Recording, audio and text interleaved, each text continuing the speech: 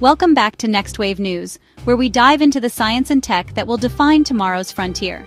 Today, we're zeroing in on a major milestone for both Mars exploration and reusable rocket technology, the upcoming launch of NASA's ESCAPADE probes aboard Blue Origin's New Glenn rocket. Here's the setup.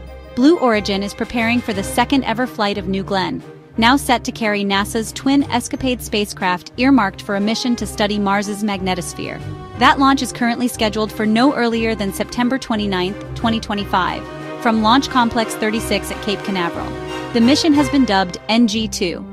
ESCAPADE, short for Escape and Plasma Acceleration and Dynamics Explorers, consists of two identical orbiters that will investigate how solar wind particles interact with Mars' layered magnetic environment and atmosphere. They're small, nimble spacecraft crafted by Rocket Lab and their journey will be managed by NASA's team at the University of California Space Sciences Lab. This marks a milestone for Blue Origin. It's not just another orbital flight, it's the company's first interplanetary mission and a big leap forward for its New Glenn rocket. That first New Glenn mission, which launched in January 2025, carried a Blue Origin prototype into orbit. While it succeeded in reaching space, the booster didn't stick its landing on the drone ship as planned. New Glenn is no lightweight either powered by seven BE-4 engines on its first stage and a pair of BE-3U engines up top. It carries massive payloads into orbit. On this flight, teams are watching closely to see if they can stick that first stage landing.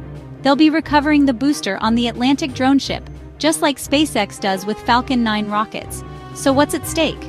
For NASA, understanding Mars's magnetosphere is a key piece of the planetary puzzle, how energy from the sun shapes atmospheric loss and evolution.